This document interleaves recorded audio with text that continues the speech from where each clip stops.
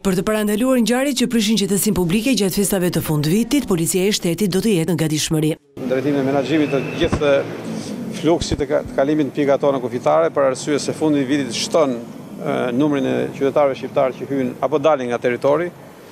Po kështu vëmendje e madhe i kushtohet çështjeve të trafikut dhe sigurisë rrugore në përgjithësi, luftës kundër krimit, mbajtjen në monitorim e elementëve me precedent kriminal.